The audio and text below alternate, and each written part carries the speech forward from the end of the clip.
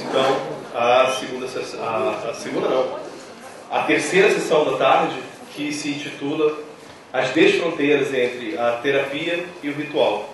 E estão participando o professor Francisco Lotufo, que é psiquiatra da Medicina da USP, o professor José Guilherme Manhani e a professora Paula Monteiro, todos dois do Departamento de Antropologia aqui da USP. Um minuto, cinco minutos. Boa tarde. Estava usando. Eu gostaria de agradecer o convite para estar nessa, nessa mesa, Esse, esse era de um. pelo esforço da de organizar esse, esse evento. Me cabe abordar eh, a relação de terapia, psicoterapia e, e ritual religioso. Não é fácil definir o que é psicoterapia.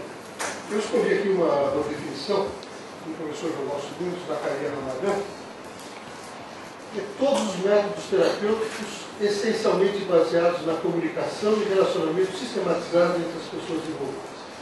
Existem dezenas de definições diferentes.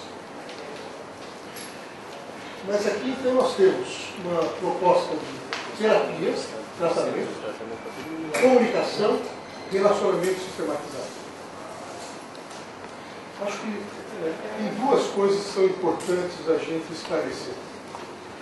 A, a psicoterapia ela pode se destinar ao tratamento de transtornos mentais. E ela pode trabalhar também com o sofrimento. Eu acho que é importante diferenciarmos as duas coisas. Porque as formas de trabalhar são diferentes. Quando você fala em transtorno mental e psicoterapia, a psicoterapia é um método de tratamento que é realizado por um profissional treinado que quer reduzir ou remover um problema, alguma coisa que incomoda a, a pessoa.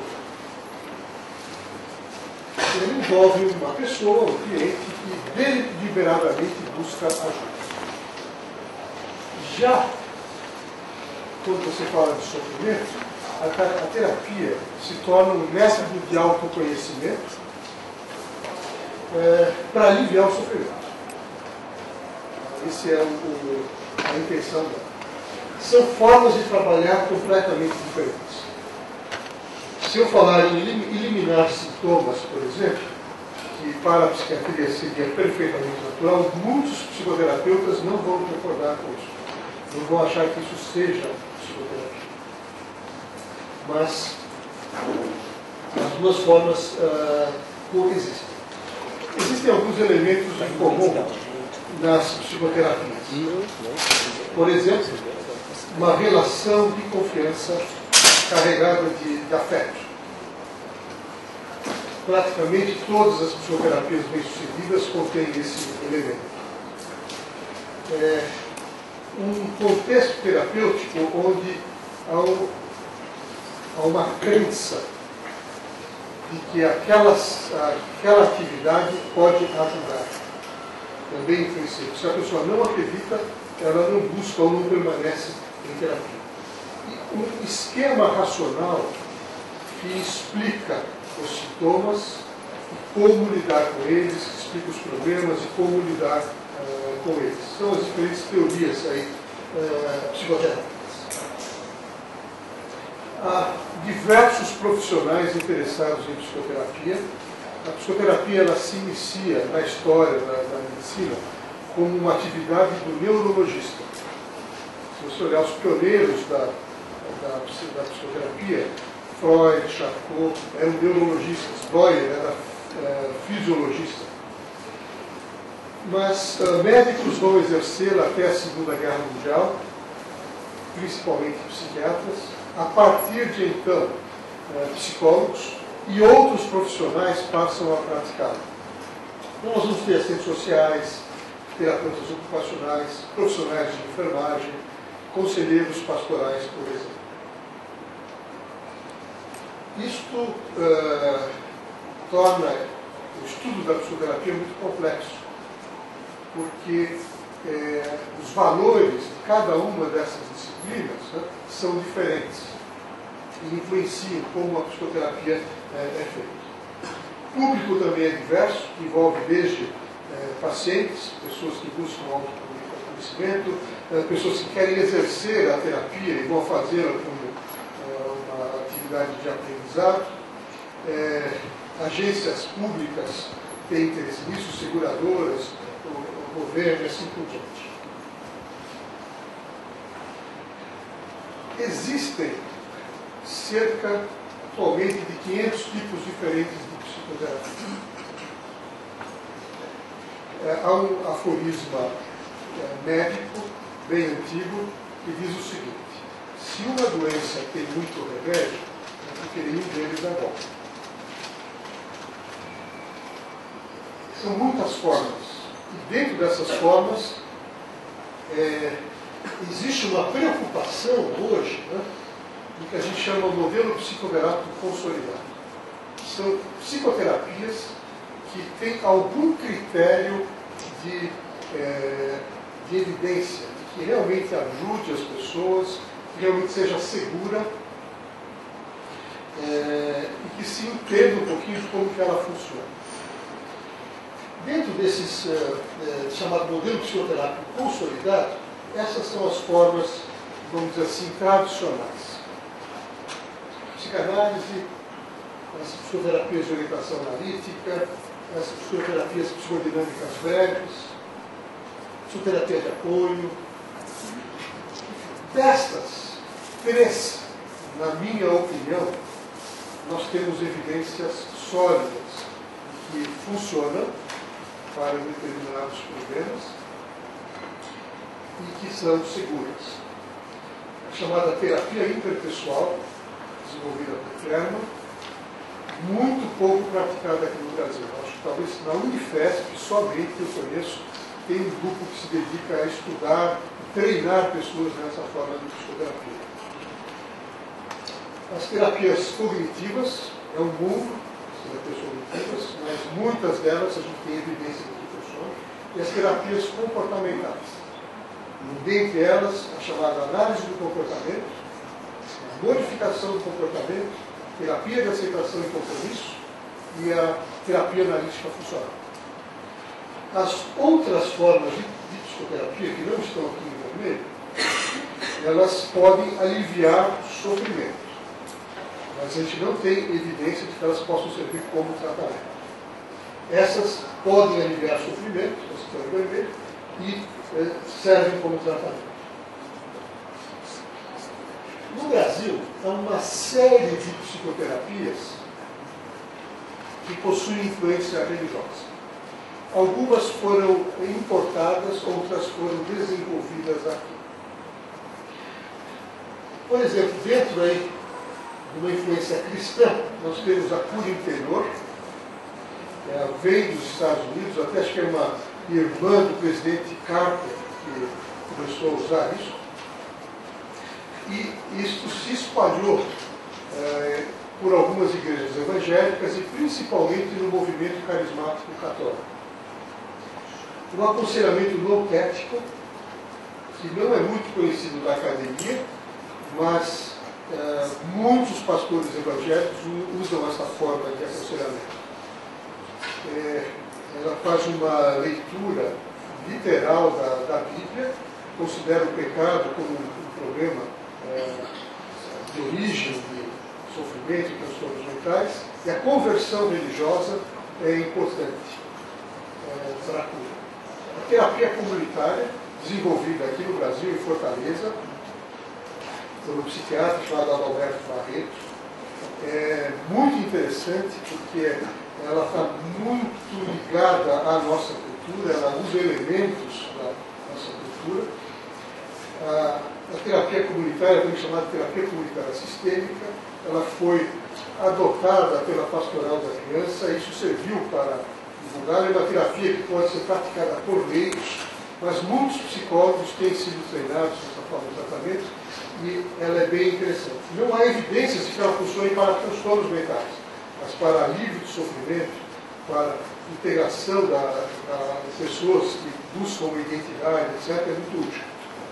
A trilogia analítica foi desenvolvida aqui em São Paulo ela tem uma influência, a meu ver, cristã e uma influência da nova era. É, ela usa uma linguagem também teológica.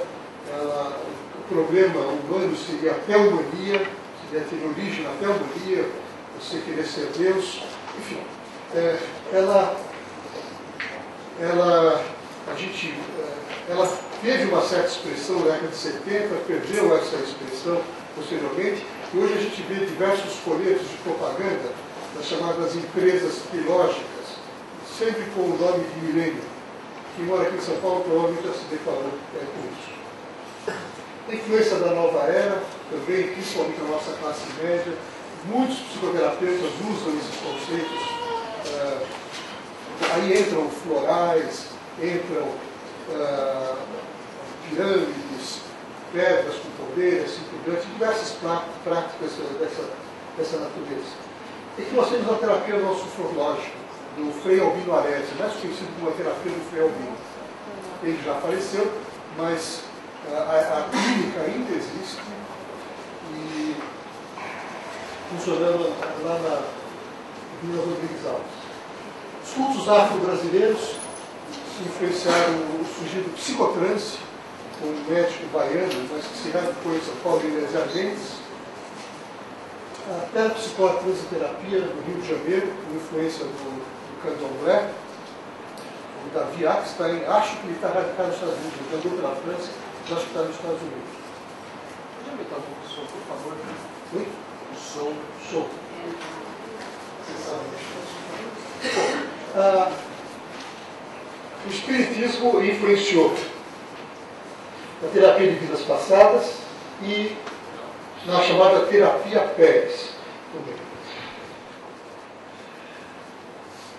O, o Brasil ele é rico nesta, né, nesse sincretismo né, entre terapia e religião, mas a gente precisa ter alguns critérios para avaliar essas terapias.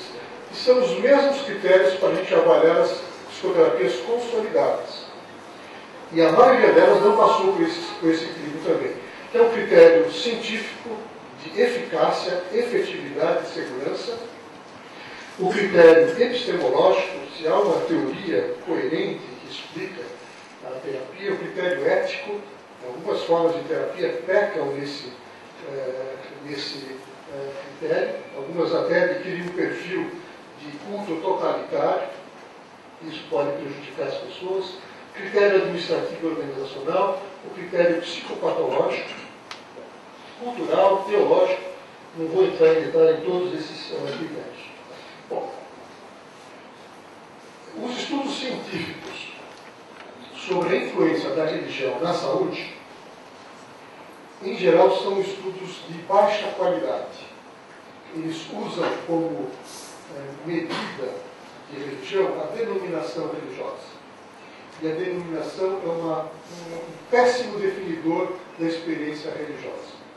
Ah, tanto aqui no Brasil, a gente tem algumas expressões que são curiosas. É, uma delas é o católico praticante. Então você tem o católico que não é praticante, vamos dizer assim. Uma outra no interior de São Paulo fala no crente bully. O crente bully é o crente de pouca fé. Então, existem essas expressões mostrando que a denominação define pouco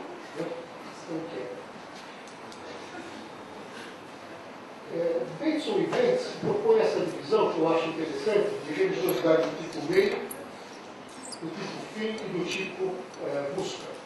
Do tipo meio, é, eu uso a religião como um meio para atingir um fim próprio. Por exemplo, eu posso frequentar um serviço religioso porque é bom para o meu consultório. Faço contatos, Uh, tem meninas interessantes, eu posso conhecer depois do serviço, é um meio para atingir um fim. Já na religiosidade do fim, eu acredito nos cânones da minha fé e procuro viver aquilo intensamente. Eu coloquei aqui duas variantes, uma eu estou chamando de neurológica, uma palavra péssima, mas vamos seguir o fanático uh, religioso, que pode ser problemático e a religião do tipo busca, onde eu tenho uma atitude aberta diante da religião, mas não estou satisfeito das respostas que a religiosidade do tipo fim me, me traz. Existem maneiras da gente medir a religiosidade do tipo fim, questionários, mas existem alguns comportamentos se a pessoa possui, ela tem grande probabilidade de ter esse tipo de religiosidade. E os melhores estudos em medicina vão usar é, essas medidas. Uma delas é numa sociedade judaico-cristã, numa sociedade islâmica, é frequentar um serviço religioso mais do que duas vezes por semana. É, grande a probabilidade da pessoa ter religiosidade. Atividade privada religiosa, frequente, leitura religiosa, assistir prática de, oração, meditação, ou assistir programas religiosos, etc., também são medidas desse, é, desse tipo. Eu queria mencionar aqui o culto totalitário. É, são cultos que não fazem parte da tradição de uma determinada sociedade. Em geral, possuem um líder carismático, um texto é, sagrado, regras claras sobre quem pertence ao grupo, sobre quem do grupo se comunica com o exterior, porque o isolamento é uma das, das condições. E existe uma história da pessoa que pertence a este grupo. Isso foi estudado por um autor na década de 70 chamado Galanter, que acompanhou pessoas desde a entrada, desde antes de entrar no grupo até pertencimento ao grupo. É, perfil de, de pessoas são pessoas com problemas psicológicos leves e problemas familiares. Ou seja, são pessoas que estão em sofrimento, estão desajustadas, elas são convidadas para uma atividade que não é muito clara, quer dizer, até você, é, quando você vai, você não sabe onde você está indo. Eu me lembro de um grupo aqui em São Paulo que convidava, convidava estudantes de medicina para aprender técnicas de enfermagem. O estudante de primeiro ano ele quer aprender a injeção, vai aprender no quinto ano. Então, é, ele vai encontrar algum familiar, está no terceiro, não sabe nem da injeção ainda. Então, havia esse interesse. Você era convidado para essa reunião e você é muito bem recebido, muito bem recebido, é o que o inglês chama love bombing, e depois você é convidado para outras reuniões até que para um retiro, onde se vão usar técnicas de alteração de consciência, e você tem uma experiência de conversão, é, você está isolado, há uma diminuição da crítica, assim por diante. Até aí, não há problema nenhum, que a gente vê que é, essas atividades fazem bem para a pessoa, a se sente melhor.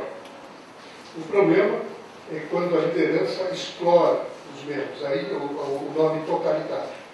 Então você tem desde exploração econômica, a liderança vivendo navalescamente, e as pessoas em regime de escravidão praticamente, é, abuso sexual, exploração sexual, coisas do, do ato da velha acontecendo.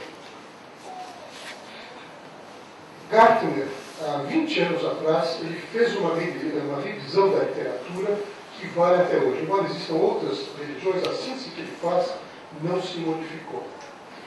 E o que ele mostra é que existe uma associação positiva entre o compromisso religioso com saúde. Então, pessoas que possuem compromisso religioso, religiosidade do tipo fim, nós estamos falando aqui, do tipo busca também. Mas essas pessoas vão ter melhor saúde física, mais bem-estar, menor prognóstico de doenças, diminuição de mortalidade, irão morrer, mas vão demorar, vai demorar um pouquinho mais, menos suicídio, não usar álcool e drogas, menos delinquência, menos depressão, menor taxa de divórcio e maior satisfação conjugal. Os estudos sistematicamente apontam uh, para isso.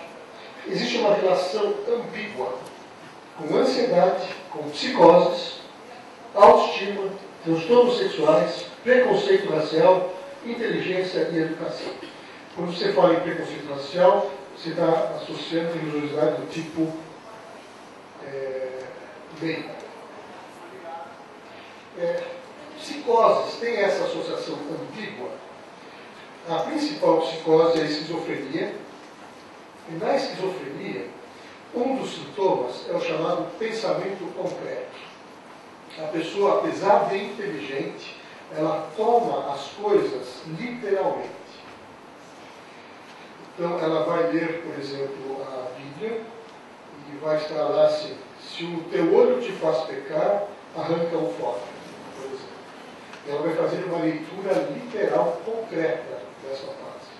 Então, pessoas com esquizofrenia religiosas, a gente toma muito cuidado, porque tem risco de automutilação, machucar por leituras é, desse, desse tipo. É, é, a gente está aqui numa reunião sobre a ayahuasca e isto marcou, vamos dizer assim, muito recentemente, uma pessoa com esquizofrenia, com pensamento concreto, né, que faz interpretações aí distorcidas da realidade e comete um crime. A religiosidade, ela tem uma associação também com autoritarismo, dogmatismo, intolerância, ambiguidade, rigidez, sugestionabilidade, dependência, autorrealização e epilepsia de logo temporal. Essas associações, o que o Gardner vai mostrar, é, se você usa testes papel e lápis para investigar a religiosidade, você encontra associações desse tipo. Em geral, os próprios questionários possuem um viés. Por exemplo, escrito lá, religião é muito importante na sua vida? Você responde sim, ponto para dogmatismo, por exemplo. Coisas assim desse tipo. Então a gente precisa tomar cuidado. Quando você mede compromisso religioso, em geral você encontra essa associação positiva com saúde. Existem diversos mecanismos pelos quais a religião pode influenciar a saúde, comportamento, hereditariedade, apoio social, crenças, rituais, assim por diante.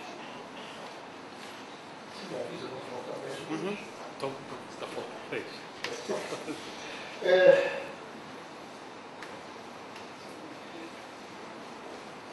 há diversos comportamentos, vamos dizer assim, que qualquer médico assinaria embaixo, que as religiões também prescrevem. Em relação à dieta, em relação ao consumo de álcool, tabagismo, por exemplo. É, a guarda do sábado te protege contra o estresse, que hoje é um fator importante é, em diversas uh, uh, doenças. Mas existem comportamentos religiosos que são prejudiciais à saúde. Circuncisão feminina, é um deles, o autoflagelo, a recusa de procedimentos médicos, a peregrinação num determinado dia, uma multidão vai no mesmo lugar, o risco de acidentes é enorme, muita coisa acontece. E alguns grupos religiosos que promovem suicídios uh, coletivos. Crenças religiosas são outro mecanismo. Uh, existem uh, crenças que permitem que permite que o sofrimento se torne mais suportável, dá um sentido ao sofrimento e regula as emoções em períodos de doenças. Algumas crenças, como criar a imagem de Deus, amor incondicional de Deus, graça de Deus, podem é, promover saúde mental. Mas há crenças religiosas que são prejudiciais à saúde. Por exemplo, uh, uh, religiões extremamente legalistas, submissão da mulher, e culpa, hostilidade e, e medo. É, me cabe falar também um pouquinho sobre os rituais. Um deles é a liturgia. Uma liturgia bem feita, ela ajuda muito as pessoas. Uma liturgia feita nos ritos de passagem ou em momentos importantes da vida das pessoas tem um impacto sobre a saúde mental e sobre a família, porque são momentos onde as pessoas estão mais abertas à, à, à mudança. As religiões elas sabem é, idealizar o espaço sagrado, o local e o tempo reservado. Isso também tem um impacto sobre a saúde. Eu vou passar isso aqui que não vai dar tempo. São... A questão da oração e reza, a oração é extensamente estudada dentro da dessa relação medicina e saúde. E existem diversos tipos de oração. O que tem impacto sobre a saúde é a oração de louvor e a oração meditativa. A oração peticional, ela foi muito bem avaliada, ela não tem impacto sobre a saúde. É...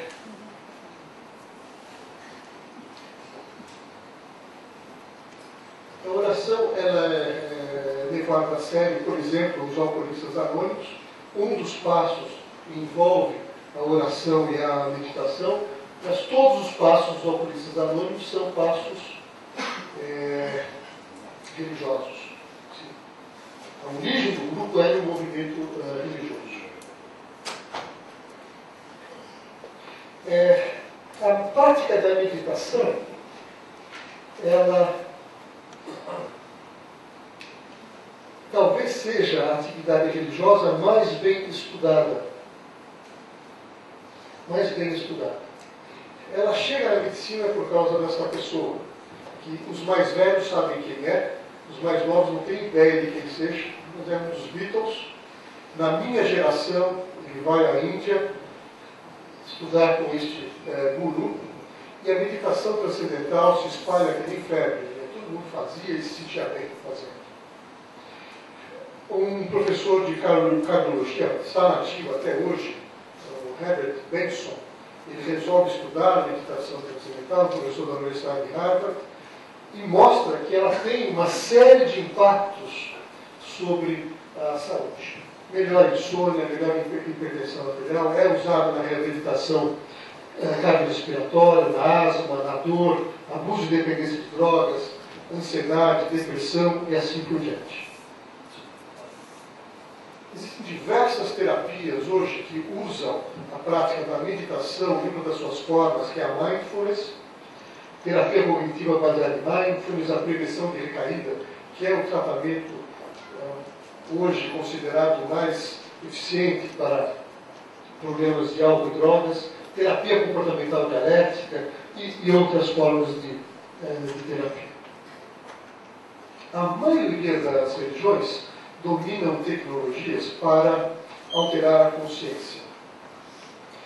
Isto vai desde a música ritmada, desde o, o, a prática dos cânticos, do louvor, oração em voz alta, jejum, retiros, é, prática, a própria prática da meditação e uso de, de substâncias alucinógenas, estimulantes ou sedativas.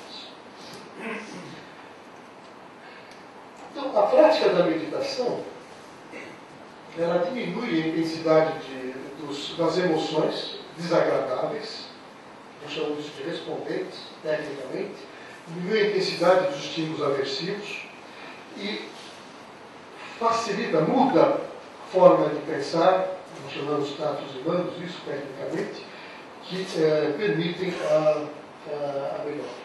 A alteração de consciência facilita a aquisição de novos comportamentos. Mas é necessário, quando se trabalha com formas de meditação que produzem consciência ou substâncias que produzem alteração de consciência, comportadores de transtornos uh, mentais. Outros rituais importantes envolvem a confissão, envolve a conversão religiosa, tem um impacto importante sobre a mudança e o perdão. É, perdão é a coisa mais fácil de falar, a coisa mais difícil de acontecer. Mas quando ocorre, é transformador na vida da pessoa. Então, concluindo, rituais religiosos, eles são e podem ser usados na psicoterapia. A psicoterapia tem o seu ritual. Rituais religiosos, eles podem ser terapêuticos, usando a palavra terapêutica no sentido de alívio de sofrimento. Rituais religiosos não são tratamentos para portadores de transtornos mentais e não devem substituir tratamentos com evidências científicas, a não ser que você tenha evidências de que são tratamento. E rituais religiosos podem ser é, prejudiciais à saúde. Muito obrigado.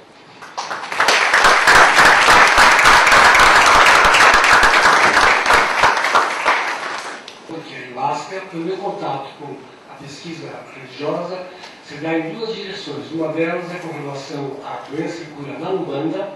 Já há algum tempo eu fiz uma pesquisa justamente com o professor Dr. Uraci Simões, da USP, e com a, auxílio da Fundação Oswaldo Cruz.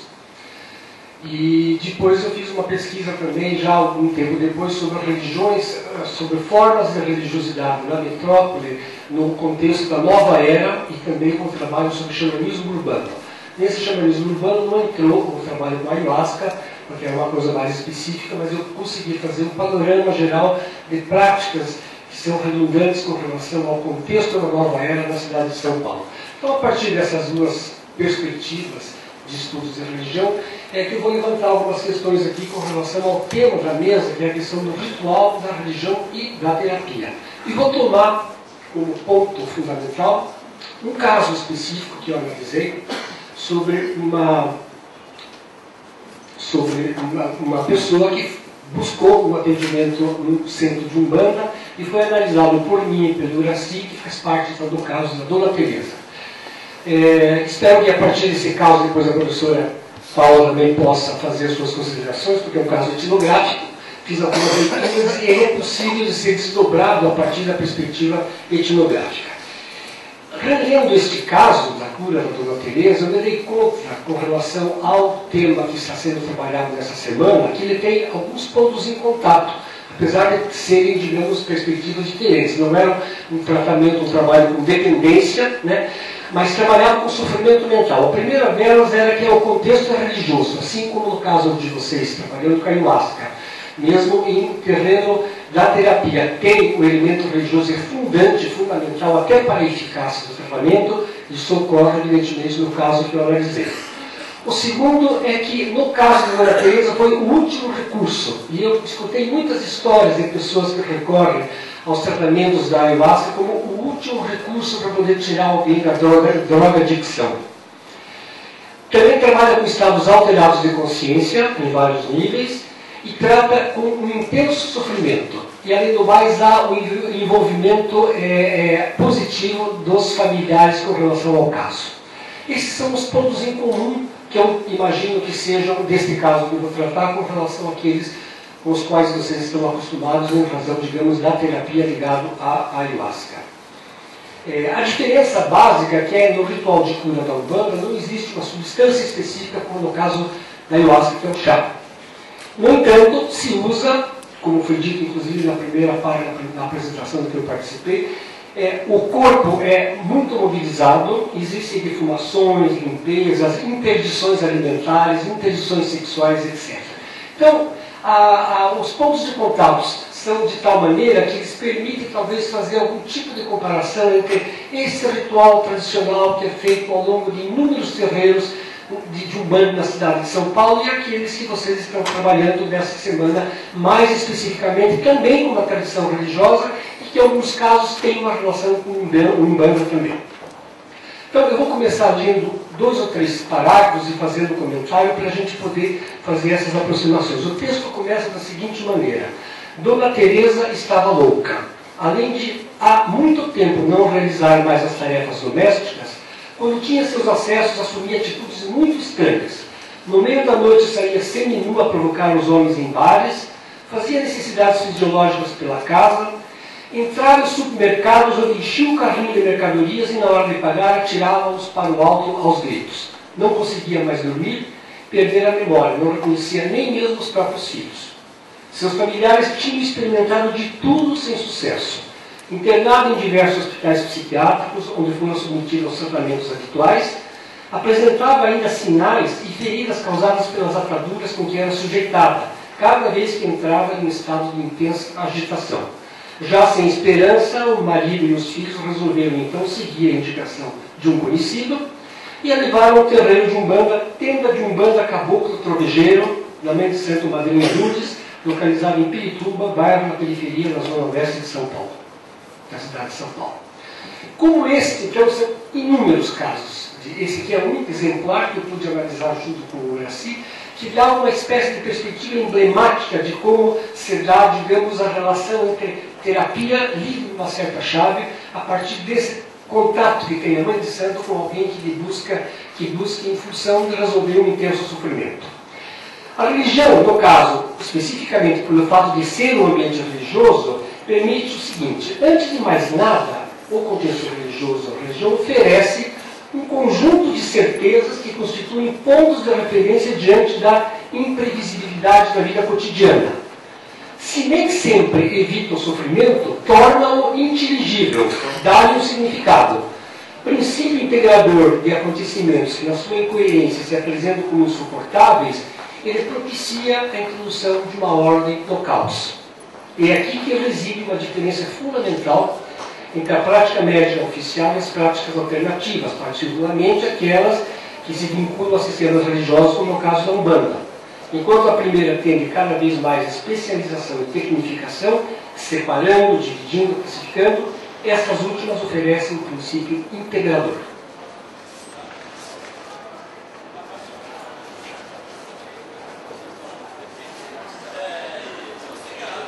Para poder entender exatamente a sutileza do tratamento da madrinha lúdica como terapeuta, nesse caso, seria necessário ter um conhecimento um pouco amplo da cosmologia umbandista. Eu não sei qual é o grau de conhecimento que vocês têm sobre isso, não vai ser no caso aqui de eu poder apresentar em detalhes, porque não há tempo, mas existe uma ampla literatura da antropologia e da sociologia religiosa sobre o tema. Eu próprio tenho um trabalho pequeno a respeito de, da diferença de Umbanda com Doblé, a professora Paula também tem, outros professores têm. É possível né, ter uma bibliografia sobre a, a perspectiva religiosa da Umbanda e também as suas perspectivas terapêuticas.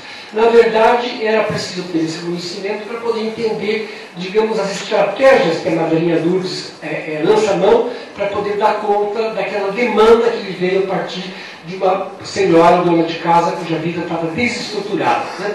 O termo loucura aqui é um termo nativo, era empregado por eles.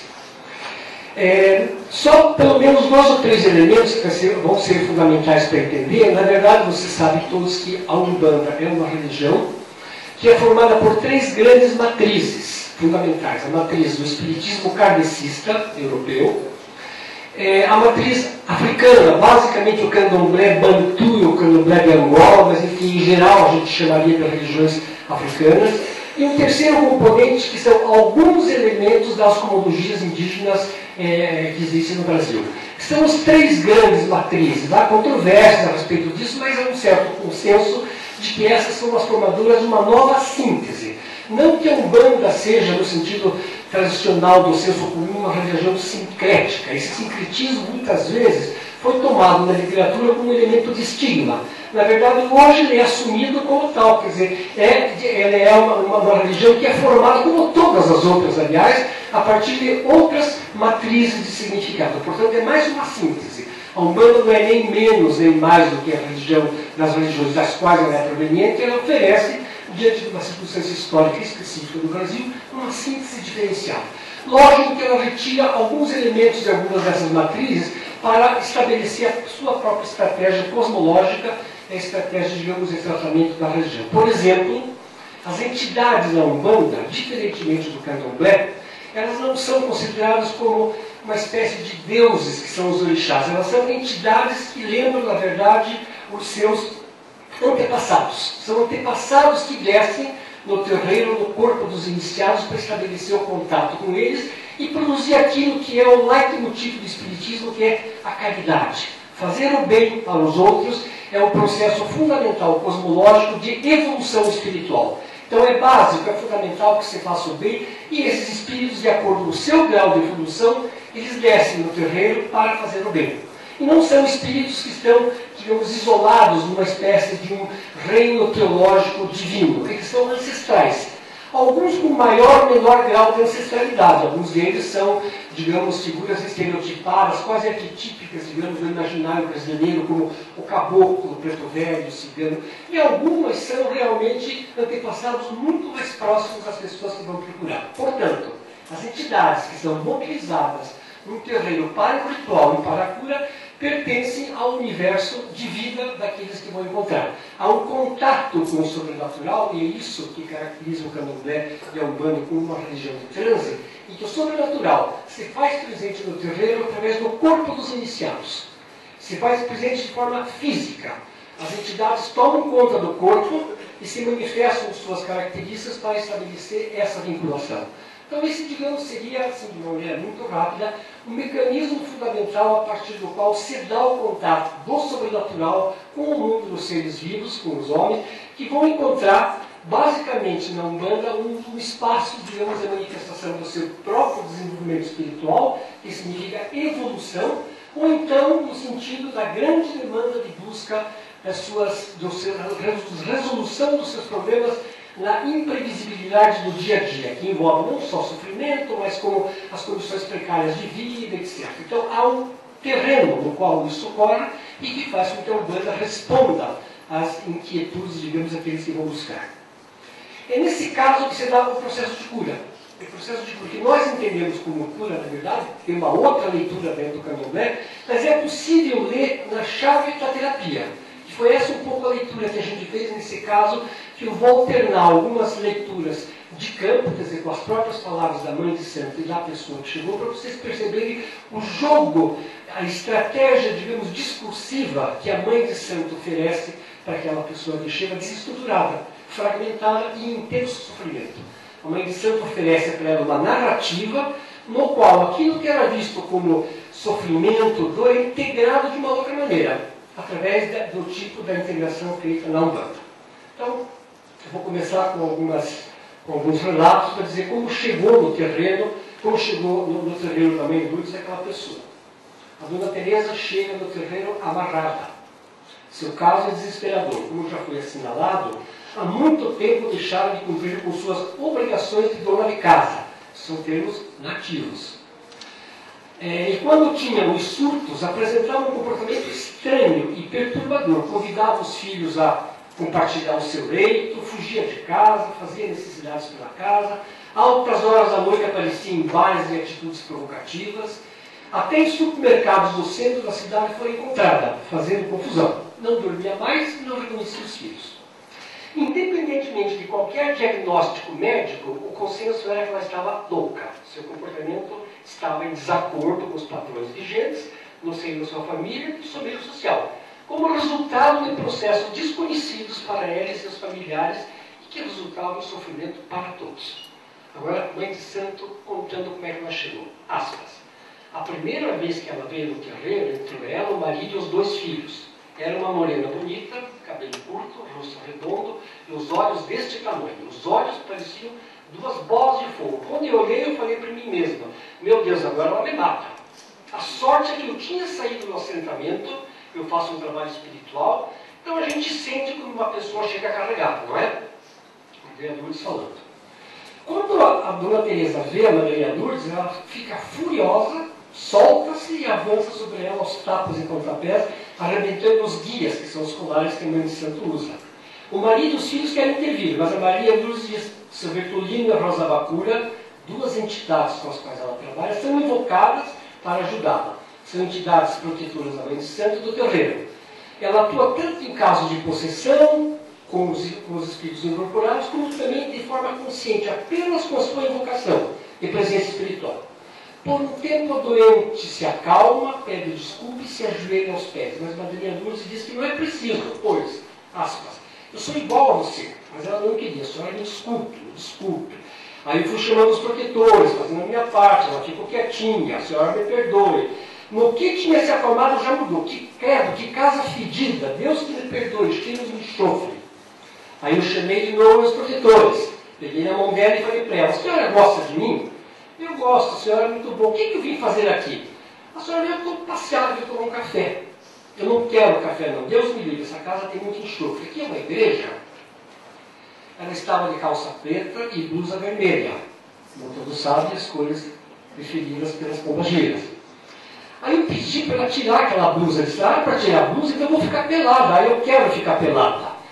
Madrinha Lourdes lava a minha cabeça, a mulher volta a se acalmar, chega a dizer para o marido que está bem, que é uma outra mulher. A mãe de santo começa a perceber então os encostos nela, que tinham ficado de fora por causa da cerca espiritual que as suas entidades, a Rosa Bacura e o seu Bertolino, fizeram.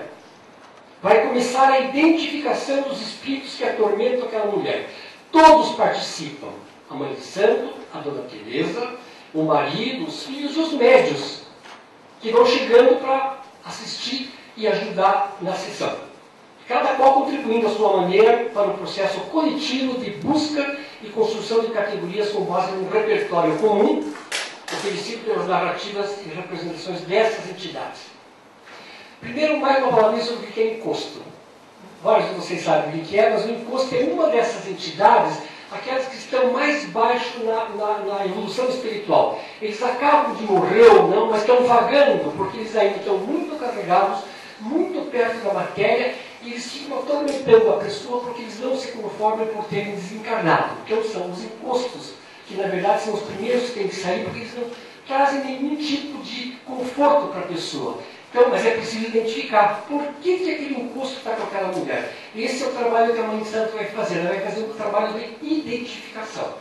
A estrutura do processo é o seguinte: a Mãe de Santo vê, aí tem várias aspas, não vê, não vai dar para a gente discutir, mas vê cada um dos encostos, descreve-os, interpela-os firmemente para saber por que estão com aquela mulher e em seguida confirma suas percepções com o marido, marido, os filhos e com a própria Dona Teresa quando ela volta a si. Ela está construindo uma, uma, figura que vai ser muito é, viva para poder ser é, objeto de interpelação. Quando a Dona Teresa volta a si perguntando, ela pergunta se realmente existiu tal ou qual pessoa, se eles sabiam quem era, qual era a relação entre eles e a Dona Teresa. Esta, durante todo o processo, a Dona Teresa alternará entre estados de consciência alterados, quando então são os encostos que se manifestam, e os momentos em que volta a si. De sumo interesse, quer dizer, seria interessante poder escrever tudo, mas a própria madrinha dizia assim, olha, essa confusão foi por mais de uma hora, só conversando. Então, evidentemente, eu extraí só a estrutura, digamos, narrativa, pegando alguns elementos para a gente perceber, de certa maneira, como a madrinha Lourdes interveio. Ela começou a falar, tem mais um pedacinho da leitura aqui para vocês verem com os termos dela, porque daí me permite. Como é que eu estou de tempo, Marcelo? 10. 10 minutos. Eu vou é, contar, na verdade, para resumir, eu usava sete encostos, não era pouca coisa. Uma pombagira e um Exu. Essa mulher estava muito carregada dentro dessa cosmologia umbandista. Né? E ela, ao interrogar cada uma, veja o caso dessa, dessa pessoa que a mãe de santo vê entrar no terreno a partir da vivência que ela tem. Aí ela começou, começou a conversar comigo depois do banho, a dona Tereza, e daí aos poucos ia aparecendo um por um. Cada um que ia aparecendo, ela já ia ficando tomada. Assim chegou primeiro uma velhinha, uma velhinha baixinha de lenço na cabeça, era bem de idade mesmo, tinha uns 80 anos era bem velha, com um pano amarrado, com um aventalzinho xadrez, olha os detalhes, aventalzinho xadrez, uma blusinha branca, com um babadinho aqui do lado, a roupa amarrada aqui do lado, e com um pedacinho de queijo na mão. Um pano com um coador e um pedacinho de queijo. Mastigando assim, uma coisa bem esquisita. Foi só a velha entrar que ela, Dona Teresa, alterada começou. Aí eu quero ficar louca, porque eu vou ficar louca, porque eu não gosto dela, porque eu tenho raiva dela, eu quero que ela morra. Aí eu falei para eles, para o marido e para os filhos, e eu vi entrar uma velha aí. E aí ela, dona Teresa, falando como velha, eu quero banana, eu quero banana. Então o marido virou, Teresa, aqui não tem banana, na casa da madrinha não é para comer banana. Não sou Teresa não, eu quero comer banana. Aí a dona Teresa, estou vendo muito bem a senhora. Aí ela baixou a cabeça. Não vá pensar que a senhora está entrando aqui de pato a ganso, porque aqui tem que chamar, entendeu? Eu mesmo estou vendo a senhora, Estou vendo a senhora de tênis marrom, de avental escuro de pintinha, meio remendado no canto. Estou vendo a senhora com um pano amarrado na cara. Estou vendo a senhora com um quadrozinho com um pedacinho de queijo. Aí ela desencostou e ficou no canto mascando, mascando. Aí eu falei, e eu tenho o nome da senhora, chama minha Mica. Aí ela falou, eu quero banana, quero banana. Aí eu falei, tá bom, vou mandar buscar banana. Buscou banana na hora, e o senhor sabe como é que é, né? Banana frita é uma coisa que acabou de fritar, é quente, né? O senhor acredita que eu vi isso dos caras bananas e ela comeu assim, sete bananas num minuto, fervendo? Agora que a senhora comeu as bananas, a senhora vai contar por que, que persegue essa moça.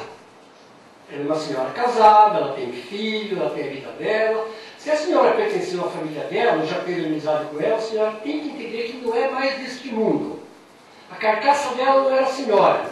A da senhora já foi há muito tempo. Nós vamos fazer uma prece para a senhora, para a senhora reconhecer o seu estado. Aí ela falando para mim.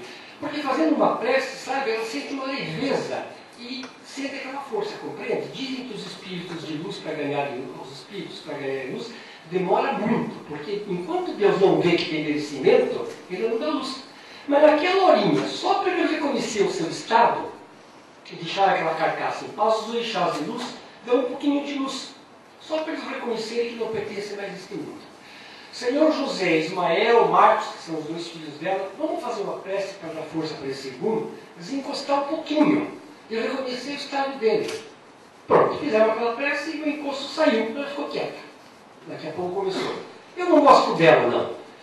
Por que, a senhora não gosta dela? Ah, porque eu trabalhava na casa do meu Domingos e a mulher, a mulher do meu Domingos contratou ela para trabalhar no meu lugar, pensando que ia ficar escrava dela, que ia pisar em mim, que aquele lugar não pertencia, que não era dela, e eu morrer logo e estou aqui em cima, vou deixar ela louca. Tá bom, mas a senhora sai dela. Falei, beleza, a senhora conheceu fulano de tal, assim, assim? Ah, conheci sim, era uma velhinha que fazia queijo na casa do meu tio. O meu tio morreu e casou com outra mulher, e essa senhora pediu para ficar lá. Essa velha era, era caseira e vivia brigando comigo porque tinha ciúmes. Eu sabia fazer queijo muito bem. O marido falou, é mesmo, dona Luz, como é que pode? Ele ficava assim tão desesperado e começou a contar também da minha amiga. Aí eu falei, tá bom, está confirmado. De repente ela começou a dizer que estava louca e dizer umas orações que o padre faz na Semana Santa. Que ninguém entende, orações de São Pedro, Santo Agostinho, São Paulo, cantava Ave Maria, fazendo de conta que estava com o rosário na mão. Aí eu fiquei quieta enquanto ela fazia isso e veio uma outra. Encostou outra, uma morena pálida, morena bem bonita, de cabelo comprido, com uma falha de dente, de óculos, um brinco de argola, vestido comprido, sapato branco, uma fita azul e um pano roxo. Nem bem tinha subido o primeiro encosto, aparece o segundo, e para resumir, a dona Teresa estava possuída por cinco encostos do Exu e uma pombagira. Com todos eles se repete o mesmo processo identificação, descrição rica em detalhes muito concretos, confirmação interpelação. Madrinha Lourdes trabalha a loucura, entre aspas, daquela mulher, introduzindo o princípio de classificação e ordem. Cada encosto tem um nome, tem uma caracterização, uma história que cruza com a biografia da Dona Teresa. A morena de cabelo comprido era Mercedes, uma colega sua, que foi afastada do coro da igreja pelo pároco para ceder o lugar a ela. E aí vem o pai Inácio, que era, cuidava dos porcos, um mendigo, e uma aluna de catecismo, que é o único encosto que estava com ela por motivos bons. Aí a Teresa disse, esse vamos ter que deixar, porque se tirar todos, a pessoa fica fraca, perde a substância, não pode tirar todos os encostos. Fazem parte da história dela, da biografia dela. Mas um a gente deixa. Olha que interessante. É, não precisa nem dizer que quem fazia ir para fora para os bares era Maria das Sete Saias, que era a pombagira que estava incorporada nela. Construído, é, bom, vou continuar aqui. Deixei a menina, que é aluna de catecismo, para dar uma cobertura. Porque depois de todos aqueles encostos pesados, ela fica muito abatida, fica fraca. E a gente não pode retirar tudo, sabe? A pessoa vai afinando até morrer. Então eu falei para o marido, olha, de todos os que estavam com ela, o mais leve é essa criança. A gente vai Deus você pode purificar com amor, com preces, com flores, com doces. Então o espírito dela vai ficando mais entendido e fica sendo sua protetora. Porque de todos, a única que a gente podia deixar era a menina, estava para o bem dela. A menina estava encostada porque queria agradecer. Foi professora de catecismo. Mas a velha estava com raiva, a moça estava com raiva do senhor. E a dona Teresa ficou uma semana, sete dias na casa da dona Teresa, da, da Maria Lourdes, que durante esse tempo a benzinha, dava chá, preparava dia, banhos especiais com ervas, raízes diferentes. Depois de uma semana, diz a Teresa, saiu igual a todo mundo. Durante o dia ela ficava quieta, sentada, comia, bebia, tomava banho, lia a revista, como qualquer um. Era como se você me levasse para passar os dias na sua casa. A gente acorda, come, bebe, ajuda a lavar a louça, etc. E ela não fazia nada disso antes, perguntei eu. Nossa Senhora, ela não pegava nas coisas de jeito nenhum. Ela não queria nada com a casa, era o marido que lavava a roupa, os filhos que passavam. Aqui tem toda uma discussão a respeito, enfim, da ordem, né? qual é a verdadeira ordem. No caso desse sistema, era assim que funcionava. Pois até os filhos ela não lembrava mais. No dia seguinte ela falou, estou pensando no Marcos, no Ismael, não lembrava o nome do marido. E aqui todo mundo perguntava, onde é que o José trabalha? Como é o nome dos seus filhos? Todo mundo vinha aqui e perguntava. E ela respondia, fulano de tal. Falava bem, com uma gramática, falava bem mesmo, era gente fina. Estou terminando para fazer duas ou três considerações a respeito. O caso é bem mais complexo que esse, mas a estrutura um pouco é essa que a Mãe de Santo faz, no sentido de demonstrar, digamos, uma estratégia de contato com uma pessoa com esse tipo de desagregação. O poder que a Mãe de Santo exerce sobre, aspas, a loucura dos outros tem como base garantia o domínio sobre a própria loucura. Ou seja, provados através do seu desenvolvimento, a partir da leitura, da feitura da cabeça, da sua iniciação dos segredos e práticas sagrados, sob o controle daquela comunidade. Madrinha Lourdes, entre aspas, delira junto com a paciente, revive com ela a sua própria crise, só que ela sabe como sair e entrar nesse estado de forma ritual, previsível.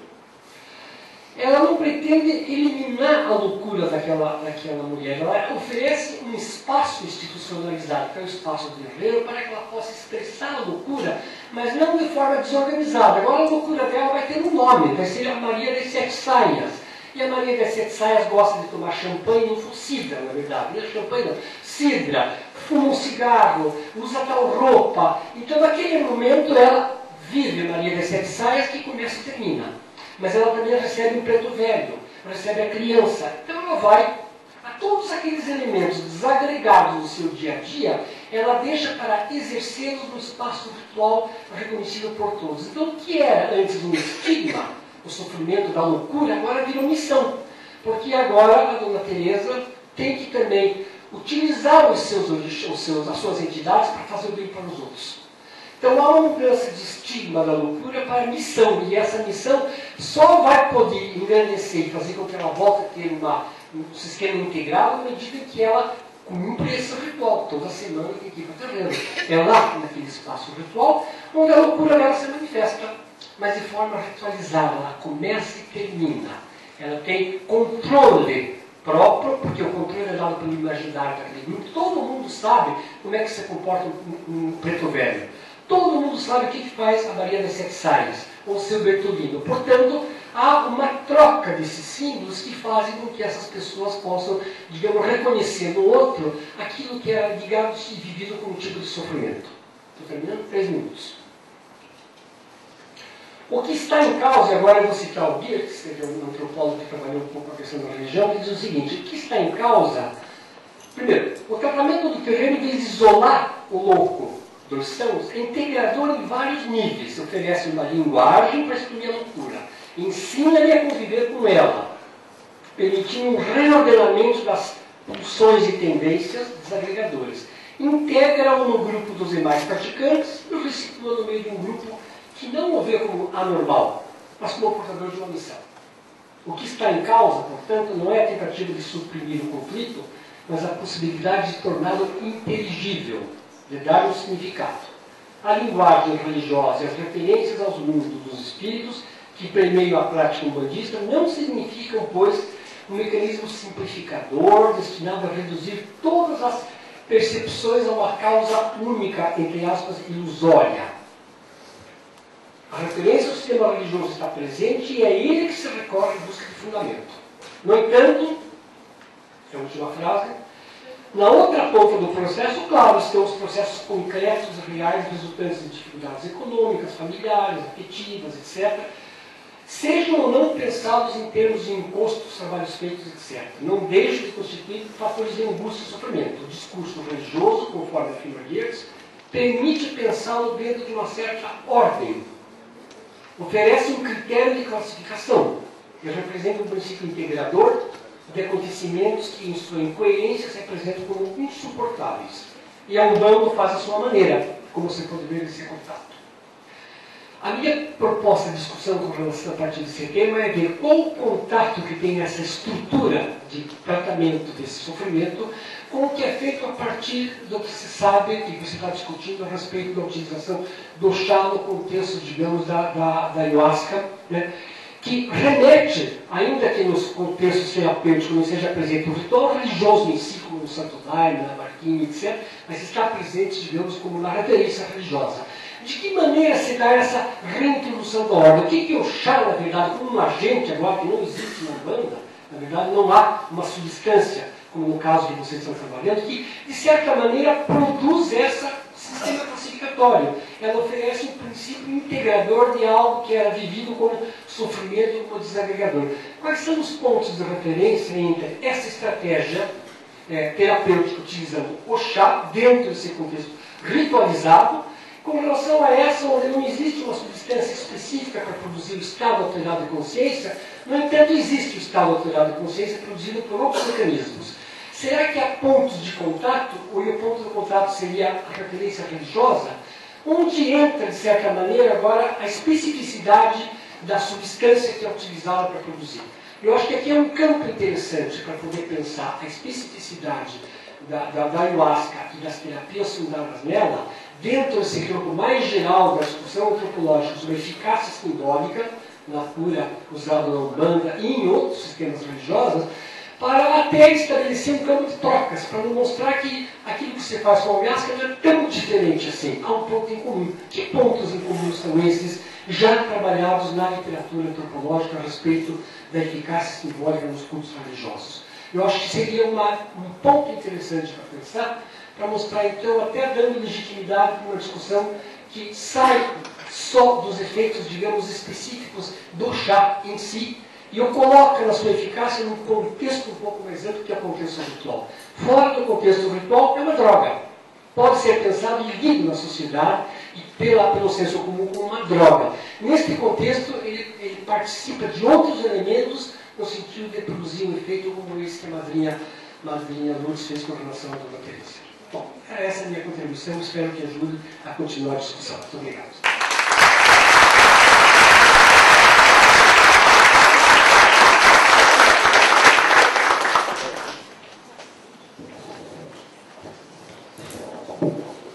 Então agora a professora Paula Nogueira, aqui do Departamento de Antropologia da UFRGS.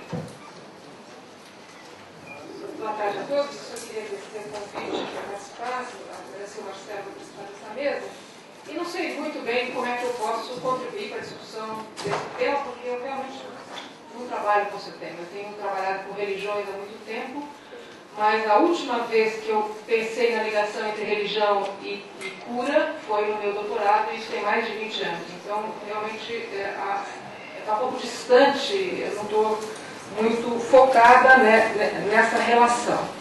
Mas, de toda maneira, é, eu vou tentar usar até onde eu fui no meu doutorado e um pouco tentar discutir com, com os temas é, atuais da antropologia, e aí eu não sei quanto vocês são familiares a, a, ao modo como a antropologia trata, sobretudo, é, do, do conceito de ritual, eu vou tentar enfrentar o conceito de ritual um pouco em debate com os antropólogos. Uh, com relação a esse trabalho sobre a banda que eu fiz na minha tese de doutorado, uh, o título do trabalho uh, dizia, era, se chamava Da Doença à Desordem e a Cura Mágica na Umbanda. Esse, esse título não é acidental. Como vocês viram pela narrativa da, do Zé Guilherme, essas, essas religiões ditas alternativas, entre aspas, elas são tomadas pelo discurso comum como alternativas terapêuticas. E foi isso que me incomodou eh, quando eu comecei a pensar uh, nessa questão. Quer dizer, uh, as terapias, entre aspas, não eram uma alternativa à medicina oficial. O que acontecia ali era outra coisa. E os próprios atores sabiam que era outra coisa, porque eles entravam ali dizendo que estavam doentes e transformavam aquilo em outro fenômeno, abrindo a porta de um universo em que a doença não era mais uma categoria de entendimento importante para aquele universo. Tudo que acontece naquele universo é desordem, mas e desordem não é doença. Então, o que eu tentava fazer nesse trabalho é mostrar que não dá para a medicina acadêmica simplesmente pensando os elementos técnicos desses universos e, e infiltrar na medicina essas, essas técnicas como se elas fossem funcionar como terapias médicas incorporando outros universos religiosos. Eu acho que isso não funciona porque essas terapias, entre aspas, só funcionam no seu, no seu próprio universo de significação. Essa era, a, digamos, o argumento que eu queria desenvolver naquele trabalho e, é, e, e, é isso um pouco que eu vou trazer aqui hoje, mas agora tentando pensar uh, como é que, qual é a relação entre ritual e religião. Né? Uh, me chamou a atenção esse, esse, título dessa palestra de hoje, né? Rituais e terapias, as desfronteiras. Há ou não fronteira entre ritual e terapia? Então, de modo a provocar um pouco a, o pensamento, eu, eu dei para essa palestra um título, um título um pouco jocoso, que, que seria assim enunciado. Por que religiões e rituais parece que andam junto? Por que se convencionou associar ritual à religião. Por que, isso está na cabeça da gente? Todo mundo fala naturalmente como se toda vez que eu menciono ritual, eu estou falando de religião. Essa é um pouco a provocação que eu gostaria de fazer aqui hoje. E aproveitando para colocar dois tipos de reflexão. O primeiro, a primeira pergunta que eu colocaria é a seguinte: de que modo e por que ou a partir de que prenoções, a partir de que pressupostos, rituais e terapias foram aproximados. Por que se aproximou essas duas palavras, esses dois conceitos? Como foi aproximado? Por que se convencionou que eles podem andar juntos? E a segunda questão, é, um pouco voltando ao meu trabalho passado, é, como é que eu mesmo aproximei nesse trabalho sobre a cura mágica ritual e terapia?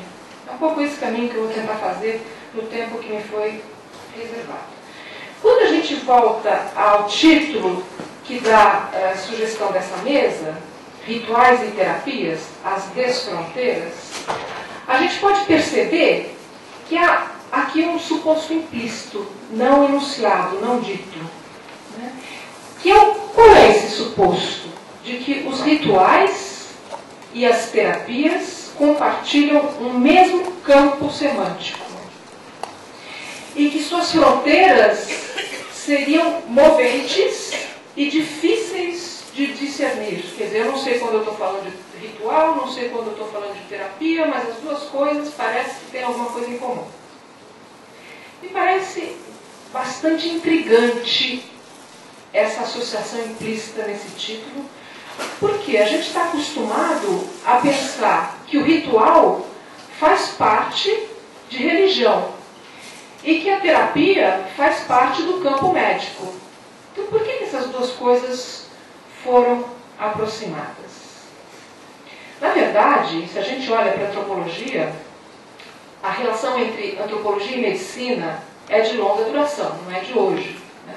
A gente pode recuar pelo menos ao século XIX e começo do século XX, eh, quando a própria antropologia assume a ideia de que eh, existem sentimentos privados que é a subjetividade da pessoa e existem ritos públicos que são aquilo que a gente pode ver. Então, por exemplo, Evans Pritchard, que é um autor conhecido da antropologia, eh, a emoção, que é uma coisa contingente e individual, ela só pode ser acessada pelo rito. Então, a própria antropologia associou a ideia de que o rito é a expressão pública daquilo que a gente não pode acessar, que é privado, que é a emoção. O rito, então, é algo sistemático, é da ordem da linguagem.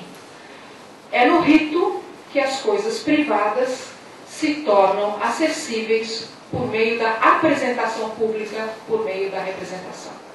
Então, o que eu quero fazer aqui hoje é discutir ou pensar de maneira mais crítica esse modo como a antropologia se apropriou dessa distinção entre emoção privada e rito público e pensou o rito como a representação de coisas que a gente não pode aceder de outro modo a não ser pela apresentação ritual.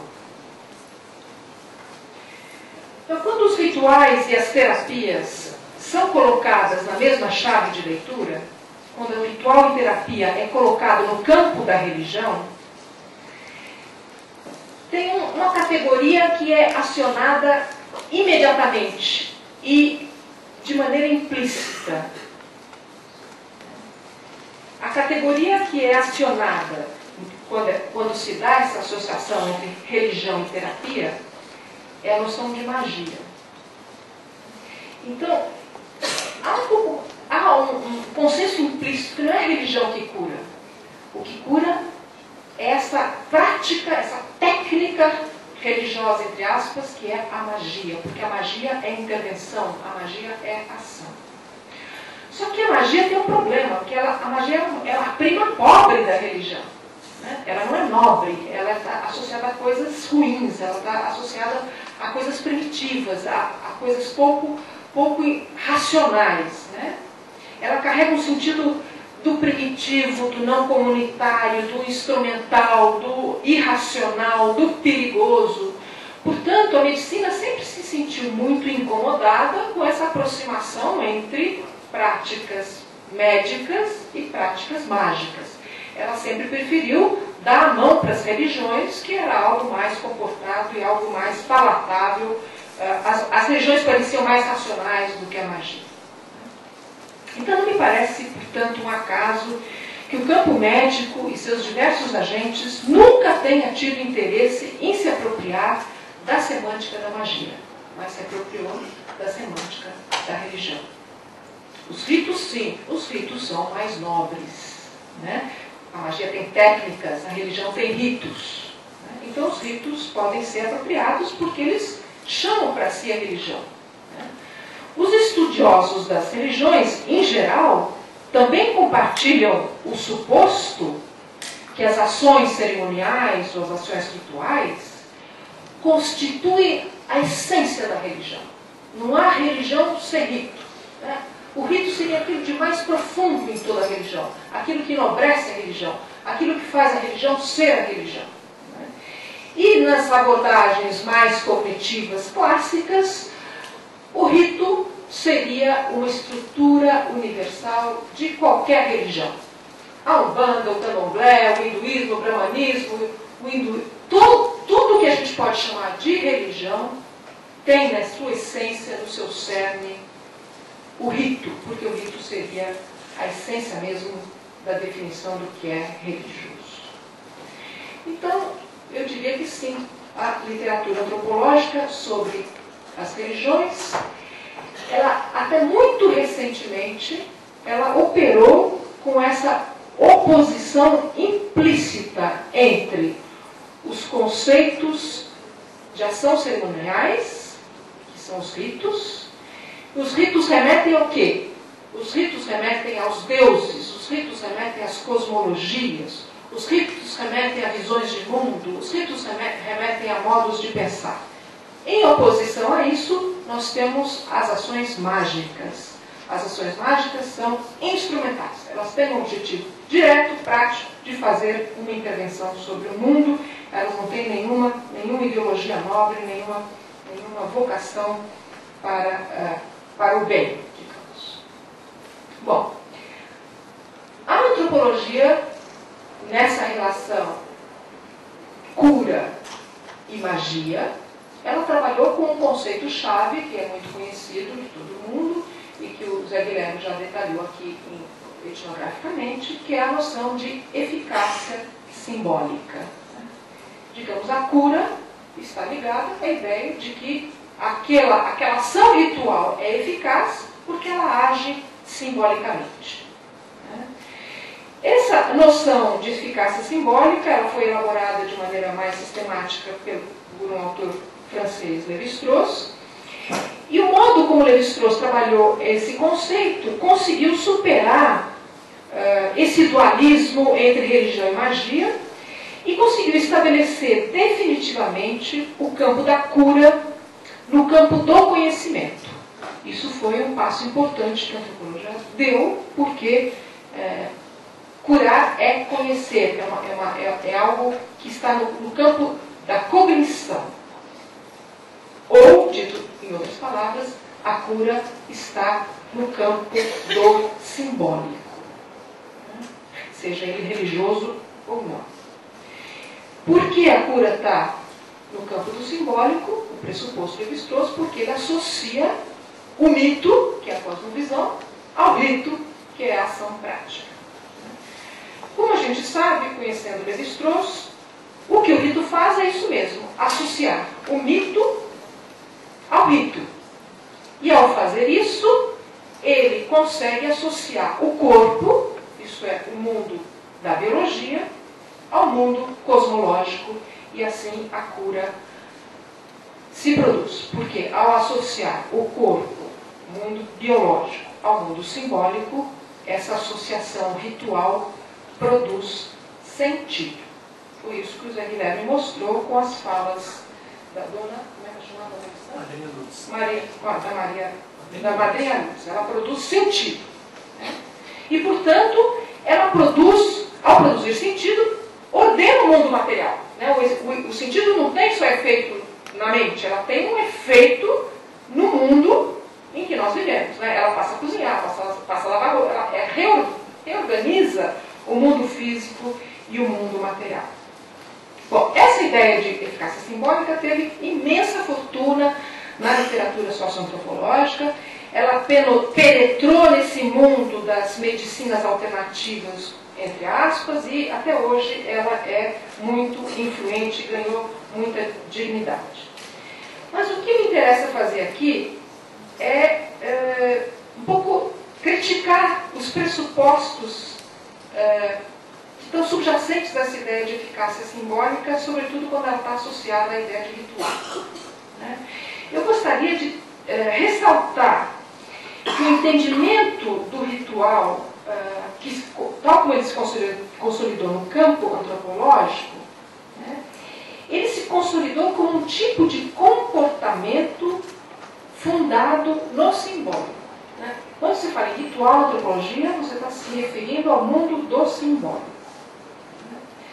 Porque você está supondo, como eu estou dizendo aqui, que o rito tem funções psicológicas e essas funções funcionam no sentido da, da cura, porque elas organizam simbolicamente o mundo e organizam as atividades coletivas. O que pa- aparece como universal e o que interessa em particular a antropologia passa a ser, portanto, o sentido representacional do rito. O rito como símbolo, o rito representando algo que está fora dele, o rito dando acesso a coisas que a gente não pode haver. É isso que eu quero um pouco pensar criticamente se a gente ainda precisa manter essa ideia de rito como sistemas de representação. Porque quando a gente pensa o rito como sistema de representação, a tarefa do antropólogo é identificar símbolos, decodificar símbolos. Essa sempre foi a tarefa do antropólogo. Né? Porque a gente tinha que olhar para o nativo, ver o que ele diz, ver como ele se comporta ritualmente e decodificar a simbologia não dita que está nas operações rituais que esse nativo nos propõe. né? Então, cabe ao etnógrafo avaliar se o rito é se as explicações nativas sobre o rito são adequadas, são inadequadas, são completas, são incompletas. Então, o antropólogo passa a ser o exegeta da, ou teólogo da simbologia nativa. Muito bem, eu acho que já estamos no momento de criticar o papel do antropólogo como exegeta ou teólogo das cosmologias nativas. Por quê? Como alguns autores já estão mostrando, o antropólogo, sem perceber, ele incorporou a mesma atitude intelectual dos intelectuais cristãos do final do século XIX, que interpretavam a exegese bíblica e davam a verdadeira versão do que estava dito, estava sendo dito na teologia cristã. Os antropólogos hoje são teólogos das religiões que eles estudam. Eles escrevem, organizam e reinterpretam a simbologia religiosa das, do candomblé, da umbanda e etc. Eu mesma fiz isso. Né? Acho que o Zé Guilherme também faz, em certa medida. E nós nos, nós nos tornamos progressivamente os teólogos exegetas das religiões nativas. Essa não? Eu, eu, aceito que sim. Então, no caso do cristianismo, é a igreja que incorpora a autoridade para interpretar o verdadeiro sentido das representações da escrita. No caso dos antropólogos, que, que o antropólogo faz? Eles primeiro constroem as coisas como simbólicas. E depois eles dizem que eles são a autoridade para identificar e classificar esses símbolos. Né? Eles se candidatam como os, os autorizados para fazer essa interpretação. Esse modo de conceber a tarefa do antropólogo como decifrador de símbolos tem sido já objeto de uma certa crítica na antropologia da última década. Tem autores, como Talal Assad, por exemplo, que propõem uma perspectiva mais histórica né? e propõem que a antropologia deveria se perguntar em que condições históricas, em que condições discursivas e não discursivas, alguns símbolos são considerados símbolos. Né? Como é que, como é, em que condições os antropólogos inventam símbolos como, como símbolos? Essa seria a pergunta. Né? Se a gente aceitar essa provocação, a gente precisa abandonar a ideia de que a concepção de ritual é uma estrutura universal da condição humana. E que a ideia de ritual é uma condição universal pertencente ao, à dimensão da cognição humana. Esse modo de abordar o rito como cognição, como estrutura simbólica universal, ele tem o problema de opor de uma maneira muito polar pensamento e ação.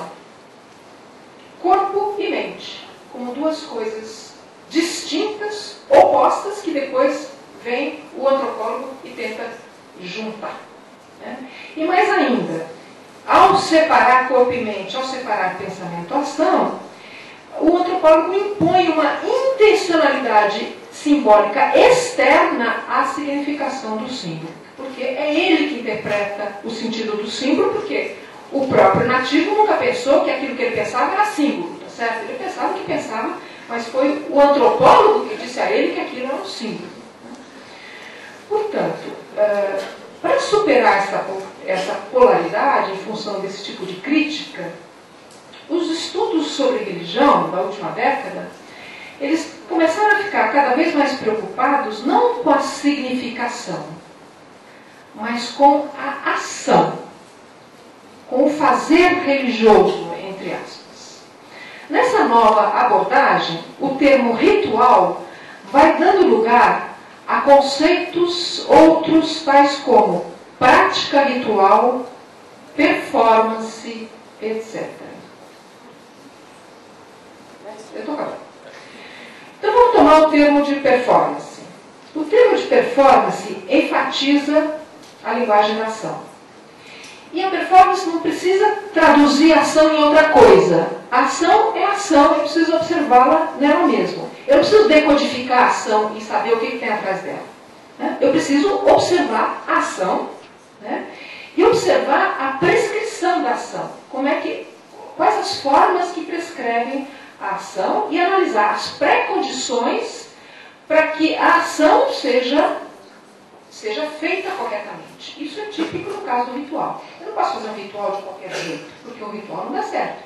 Eu preciso entender quais são as prescrições embutidas na ideia do fazer correto do ritual. Isso porque também o ritual está dirigido para a performance. E a performance apta. Se o ritual está mal feito, ele não vai dar certo. O ritual tem que ter uma performance apta. Para que a gente tenha uma performance apta, é preciso o quê? É preciso o desenvolvimento de disciplinas práticas. Então, é o corpo que tem que ser disciplinado e não a cabeça que tem que ser mudado. Né? É o corpo que precisa aprender a fazer bem. A performance apta envolve habilidades a serem adquiridas e não símbolos a serem interpretados. Os ritos como performances aptas, eles supõem regulação e não significação. Os ritos como performances aptas implicam na existência de pessoas que ensinam como se deve fazer, como se deve fazer bem, e pessoas que avaliam se a performance está adequada. A pessoa, a pessoa precisa aprender bem. Se eu fosse ver de novo a história da Dona Teresa, o que ela está fazendo é aprendendo a reorganizar o modo de usar o seu corpo. Ela está aprendendo uma disciplina corporal. Se essa nova abordagem do mundo virtual faz sentido, é preciso reavaliar sua conexão histórica com a ideia de cura. E porque, é, até então, a antropologia sempre associou a ideia de cura à ideia de significação. Então a gente precisa fazer uma releitura do conceito de eficácia simbólica. Porque eficácia simbólica supõe que algo faz sentido. Portanto, a noção de eficácia simbólica opera no campo da representação. A noção de eficácia simbólica supõe que algo faz sentido para alguém. Portanto, a noção de eficácia simbólica supõe que exista um campo da subjetivação que precisa ser alcançado e que se opõe ao campo da objetivação. Já o conceito de performance supõe que algo deve ser feito corretamente. Portanto, a performance trabalha no campo da disciplina. O fazer correto é a adesão completa à regra e não pode ser isolada conceitualmente. O que é bom é aquilo que se faz bem. Você não pode separar aquilo que é bom como conceito daquilo que se faz. Tem que ser tudo junto. Perdi umas páginas.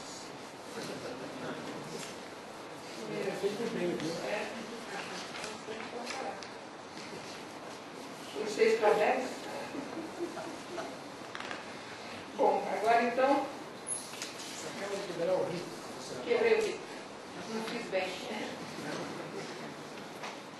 Bom, então, é, só para terminar, eu vou tentar é, voltar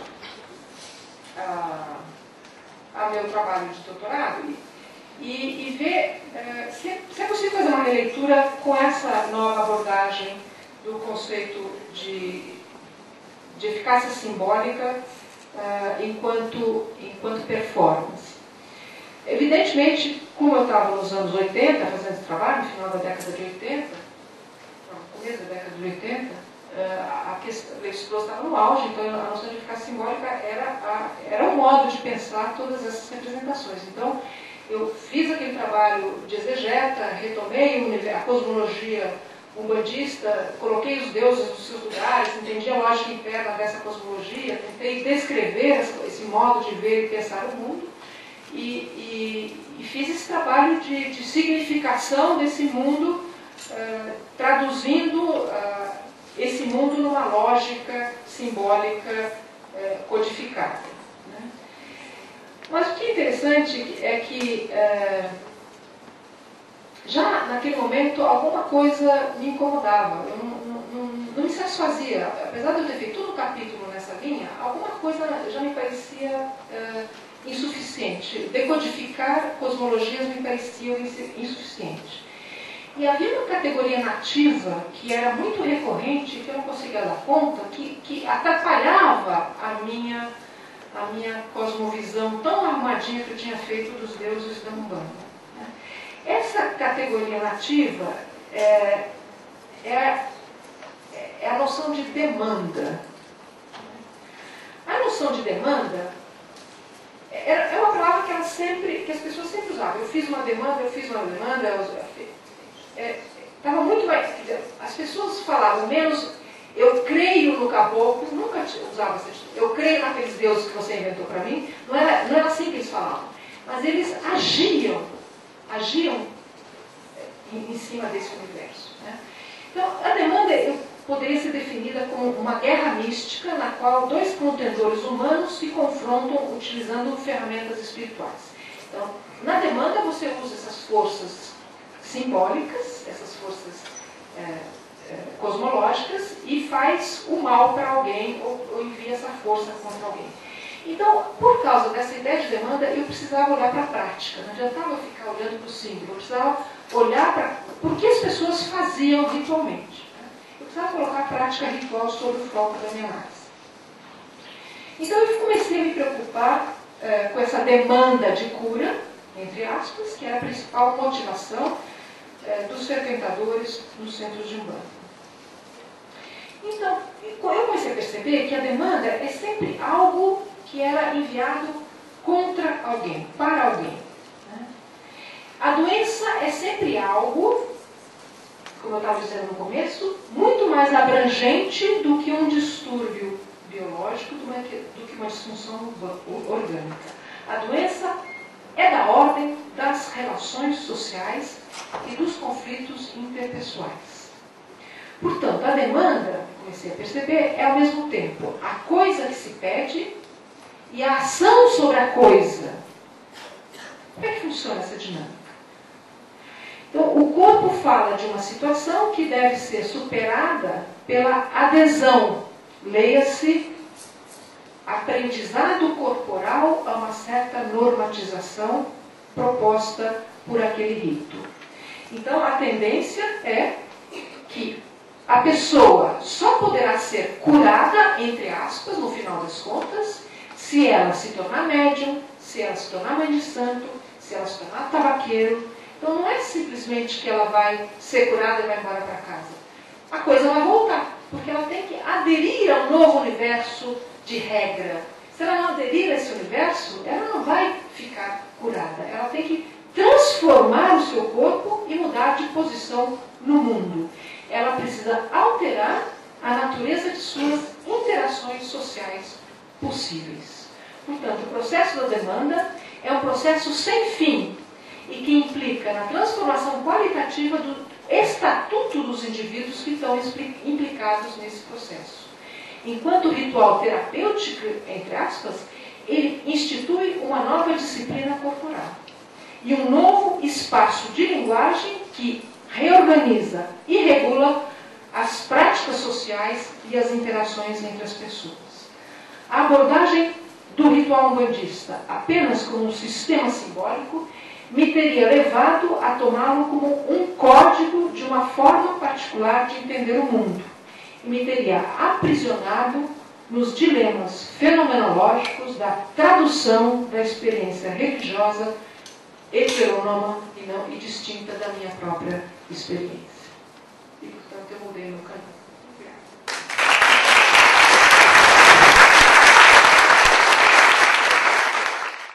Ah, os participantes do encontro Ayahuasca e Tratamento de Dependência, realizado na Faculdade de Filosofias e Letras e Ciências Humanas, é, Departamento de Antropologia da Universidade de São Paulo, de São Paulo com o apoio da CAPES, ah, de Superior, NAU, NEIP, ABESUP, expressam reconhecimento do trabalho realizado pela Fundação El Emilio Cosquín, na Argentina, desde o ano 2005 em prevenção, abordagem e investigação em situações associadas a drogas, desde uma perspectiva natural e cultural. Repúdio a forma violenta e exagerada em que se realizou o alienamento, que isso? invasão, em uma das sedes da Fundação Emílio, em 20 de agosto de 2011 passado, durante um seminário de desenvolvimento pessoal com a ayahuasca, vulnerando a privacidade das 17 pessoas presentes.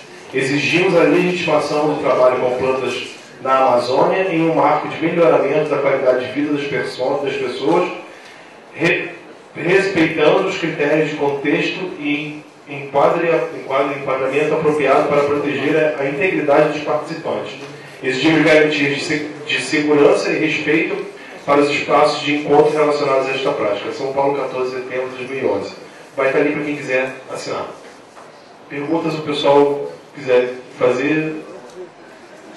Vai chegando para a fila aqui. Alguém tem?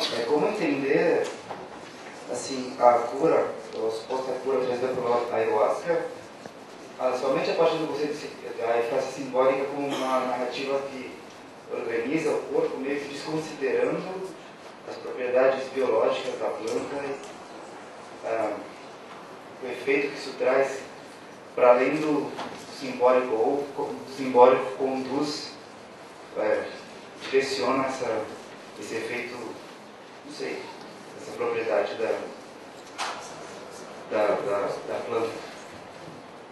Entendeu? Quer fazer, Felipe?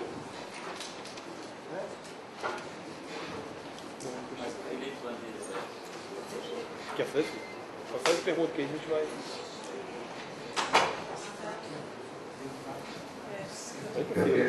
Bom, primeiro assim, eu queria compartilhar uma experiência minha.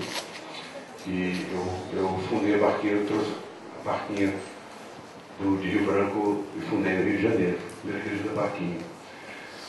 E na barquinha existe um, uma, uma dimensão, um trabalho chamado obra de caridade, que tem toda uma parte mediúnica, né? E, e eu já vinha, eu, eu comecei no Espiritismo, na minha trajetória espiritual, e vim de ordem iniciática, que tinha uma certa suspeita em relação à mediunidade, animismo, enfim. E é uma parte do trabalho que eu não queria me envolver muito. E, e, e o interessante é que é, o trabalho começou a amadurecer é, dentro daquelas características mediúnicas como ele existia no branco, sem que eu desejasse que fosse assim. Eu queria dar uma. levar mais para uma, uma, uma dimensão esotérica, iniciática do que.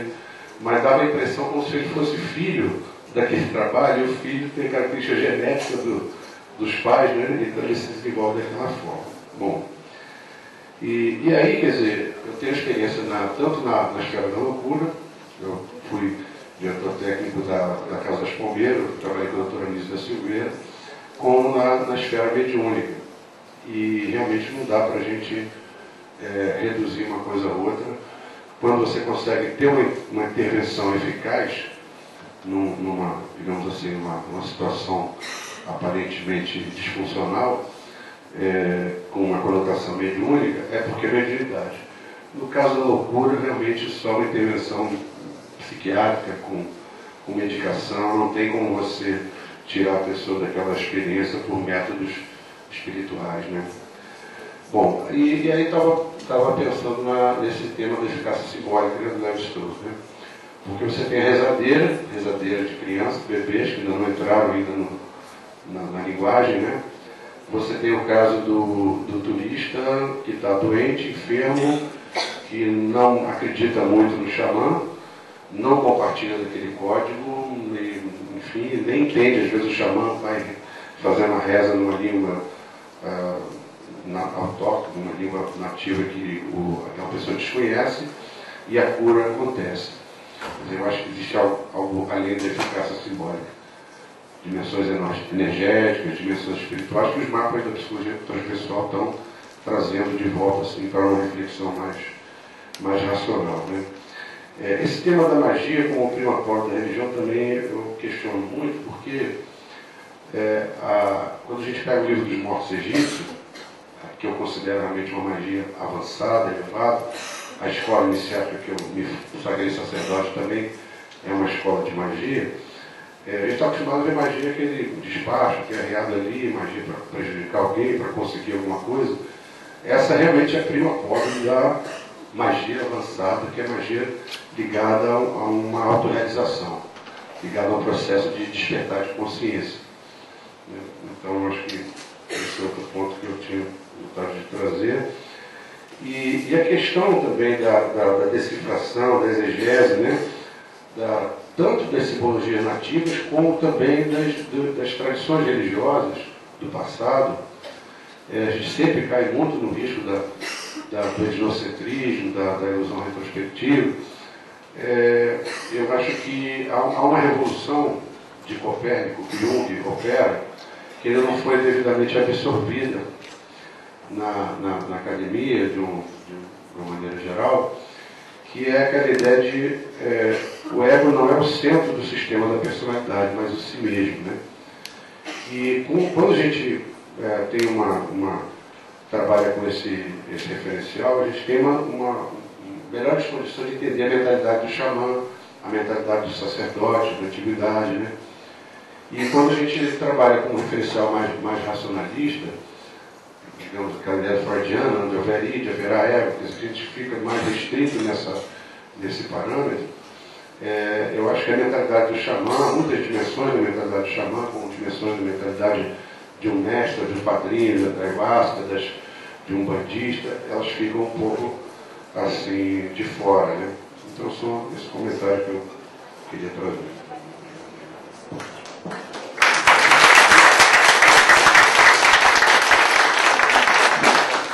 Boa tarde, meu nome é Manuel. Vou fazer uma pergunta para o Dr. Latour, que a gente observa que a mediunidade nos anos 30 era muito combatida pela psiquiatria. Inclusive, alguns estudos dizem que devia haver uma higienização da mediunidade, dos centros espíritas altos, baixo espiritismo, devendo se excluir por conta de uma psicopatologia. Com o tempo houve uma transformação disso, a gente percebe que a psiquiatria veio por um outro olhar, estudos voltados para a mediunidade até vem como aspectos positivos. Né? Qual a sua visão frente a essa recém-surgente crescimento do tratamento com os da ayahuasca para tratamento de transtornos mentais e da saúde mental de uma forma geral? Esse ponto. Para a professora Paula Monteiro, é, doutora Paula Monteiro, fiquei examinando ali o que estava falando, acho interessante porque, pelo menos para mim que estou iniciando agora, estudando, iniciação científica na área e então venho buscando aprender com vocês que já têm experiência na área. Então, um dos grandes desafios da gente, que aqui a maioria somos ayahuasqueiros, né? e estudamos o, aquilo que nós fazemos parte, então como observar esse familiar? Sem ter essa postura exegeta, sem ter essa postura interpretativa de decodificação, mas sim focando a teoria da ação de uma postura de você ver não enquanto informante, mas sim enquanto sujeito social, como atua em constante transformação. Então, são essas questões que eu.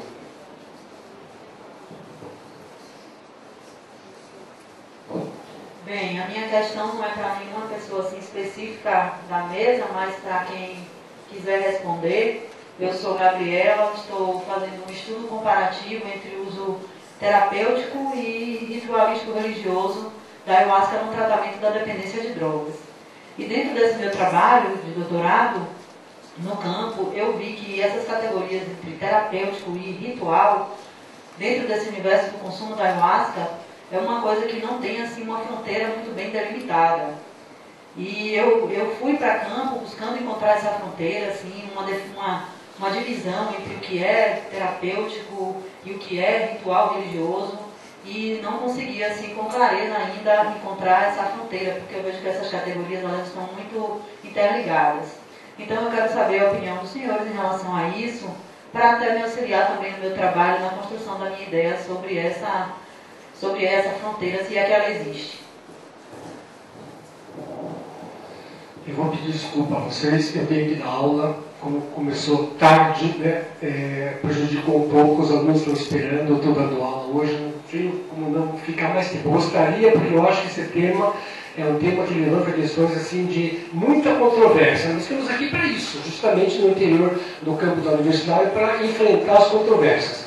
Com relação ao que o Guilherme perguntou, quer dizer, é, é, expressou, realmente é, eu não tenho condições de responder isso, porque é justamente a parte da pesquisa que entra é, entre, levando a sério, como a gente diz hoje, a, a substância que é utilizada. No caso da Umbanda, que a gente estava estudando, não tem, digamos, esses efeitos dados por uma, por uma substância como a ayahuasca, por exemplo. Então tem que estudar isso. Eu não sei qual é a fronteira entre um e outro, e só a pesquisa que pode determinar.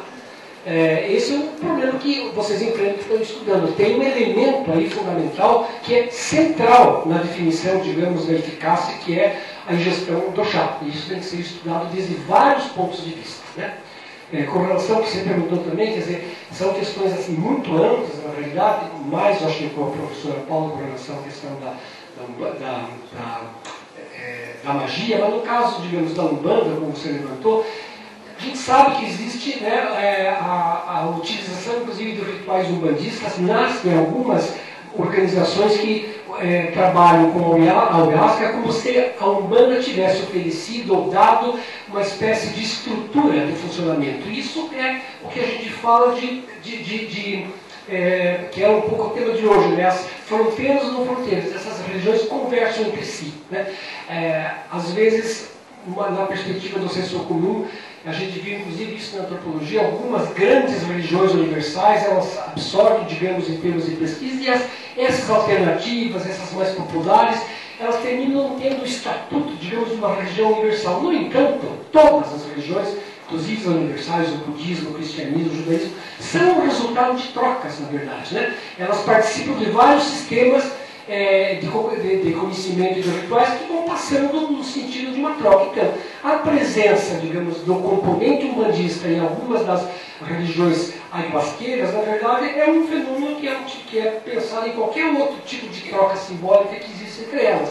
Então, do meu ponto de vista, como eu não sou um especialista e estudei, digamos, como se deu essa conformação, eu vejo isso como, uma, como um fenômeno absolutamente é, comum que, que pode ser é, entendido como sendo uma prática de troca entre elementos de vários sistemas e matrizes de significado e ritualísticos que passam de uma para outra, na verdade.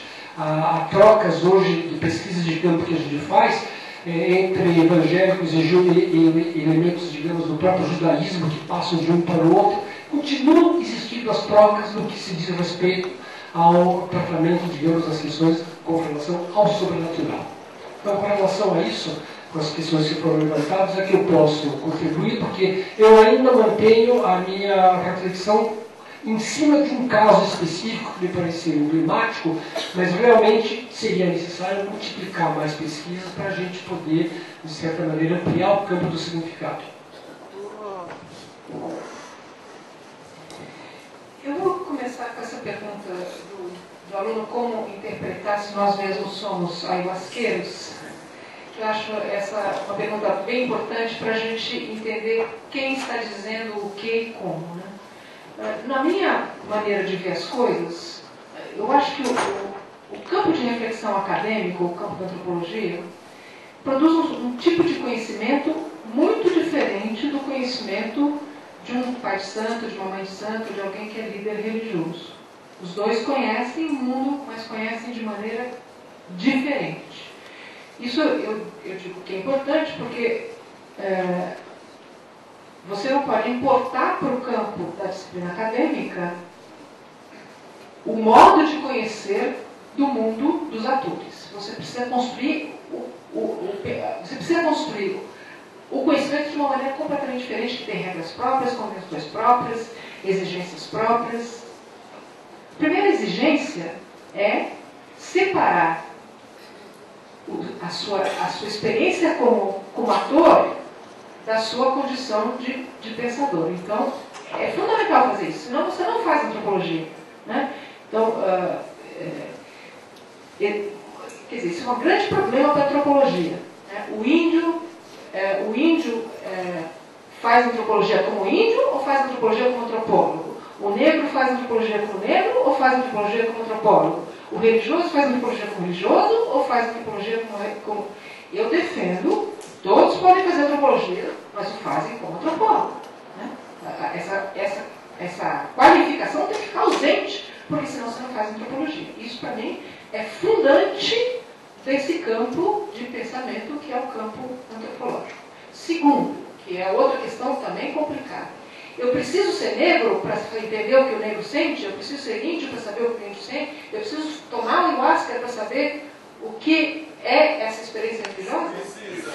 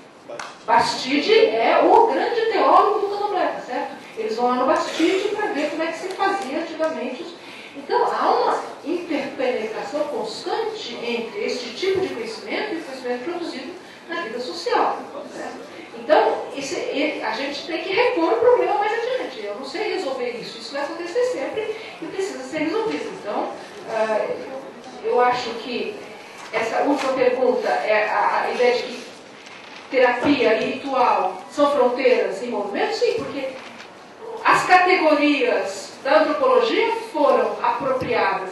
O ritual foi apropriado pelos agentes e a noção de terapia foi apropriada pelos agentes. Como foi apropriado e por que, qual é a relação dessa apropriação? Precisa ser estudado. Né? Na prática, eu não sei se é preciso e por que é preciso estabelecer fronteiras. Um pouco está confuso, mas a coisa está confusa mesmo. É a metalinguagem. É a metalinguagem. É, né? O antropólogo usa a metalinguagem. Eu estou evidenciando de estar aqui e ouvindo os colegas antropólogos, os comentários, eu vou responder com o Manuel. É, o relacionamento entre a psiquiatria e a religião sempre foi muito controverso, muito preconceituoso. É, o diagnóstico mais frequente, o terceiro diagnóstico mais frequente nos Estados Unidos no século XIX era a loucura religiosa. No Brasil, você mencionou muito bem, havia a loucura espírita, que alguns professores de psiquiatria da primeira metade do século XX citam nos seus livros. A ciência acho que melhorou um pouquinho de lá para cá. E isso não é mais uh, admissível. Em relação ao uso da ayahuasca como eh, tratamento de transtornos mentais, eu vou me apropriar das colocações da professora Paula. Vou responder como médico. É, eu não sei dizer, não sei responder. Por quê? Porque para eu dizer que um tratamento funciona, há todo um procedimento que precisa ser seguido. Só definir o que é melhor, no caso já é complicado. É, é parar de usar drogas, é, por exemplo, ou é qualidade de vida, ou é trabalhar, ou é fazer amigos, é, ou é ter a vida organizada de uma certa forma, seguindo um certo padrão é, que a sociedade aceita ou diferente, enfim. Só isso já é muito complicado. Você precisa ter estudos com avaliação cega, é, onde há, um rigor de que aquele procedimento, por exemplo, está sendo aplicado e assim por diante. Como isso não acontece, o médico vai dizer assim, eu não sei, pode ser que ajude, mas quando passar por esse crivo, a, a medicina o vai valorizar. Mas até então, a gente não sabe. Obrigado. Muito obrigado, professor Latuf, por ter atendido o convite. Obrigado, professor Paulo. Obrigado, professor Manhã, que já foi embora. Vamos dar cinco minutinhos e a gente volta às quatro e meia para a última sessão de hoje.